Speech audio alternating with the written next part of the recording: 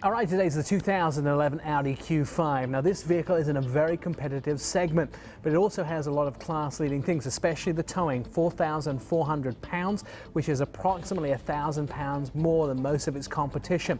Now, Audi entered this segment for the first time in 2009, and it's a slightly different segment. It's the CUV crossover segment, but what they did is they brought a vehicle to market which has a high visibility and ride like a SUV does, but it has an Audi sports car feeling, a low engine, and a very fast and dynamic drive handling.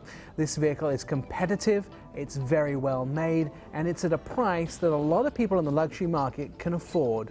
Well, Nancy, it's always good to have you on the show, and the hood is open of the 2011 Audi Q5. This is quite an engine, isn't it? It is. Nik, first off, it's great to be here. So this is all new for 2011. It's the four-cylinder 2.0 liter engine offering 211 horsepower and 258 pound-foot of torque. It also offers an eight-speed transmission, so it's incredibly smooth, awesome fuel efficiency, a remarkable engine. And this is not the only engine they offer in this vehicle. It originally came with a little more power, didn't it? Yeah, back in 2009 when the vehicle actually came out, it came with a 3.2 liter V6, and that one offered 270 horsepower and 243 pound-foot of torque. Both those engines are available, and you can see by looking at this engine, a lot of the Audi engineering from their racing got in here. The sway bar, the engine's low in the vehicle, so it has a low center of gravity, and I know it's great fun to drive around corners. Very clean design on the outside of this car. This is a very innovative and modern design. I love the Q5. My favorite thing about it is the front end. I love the single frame grille and those sweeping LED lights that make you know it's an Audi day or night. Another thing is it has a very monochromatic look, so you can see from the front end all the way back. So it was made as a whole, not piece by piece. It also has LED tail lights in the back, which are much brighter and easier to see. And this car was actually designed in a wind tunnel, which is a great thing about it because that means that this car has a very low drag coefficient, 0.33,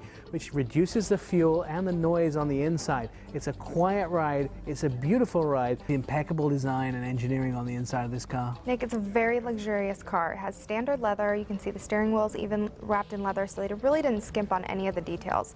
Very luxurious feeling. A couple things that I absolutely love about this vehicle is the optional navigation system, which Audi's known for their MMI. Comes with backup sensors, rear view camera, which I use every day. My favorite thing about this car though is the Bang & Olufsen stereo system. I love music and the sound system is impeccable. There's also a lot of things I didn't expect on the inside, and that is the large amount of legroom and headroom, and also that panoramic sunroof. But the fact is they put a lot of Audi sports car engineering into this car. They have big gauges in their race cars, and they put those big gauges in this vehicle, and it does genuinely feel like a very sporty Audi ride. Now let's take a look at some whys to buy. JD Power & Associates says that the Audi Q5 wins its category in the Appeal Award segment. It's also won Off-Road Magazine's award for this car, meaning it's a great thing to take on and off-road. But it's a very competitive segment. It goes up against LR2, against the Acura RDX, against Volvo's XC60, the GLK from Mercedes, and I could go on and on. But this vehicle has dynamic handling. It has Audi's sports car heritage in it. It also has Audi's great engines in it, and you'll find that this vehicle was built to protect its occupants and to protect pedestrians. It wins in many categories, especially in that towing capacity. And if you want to buy a vehicle that is in the luxury segment CUV, this is a highly lucrative competitor.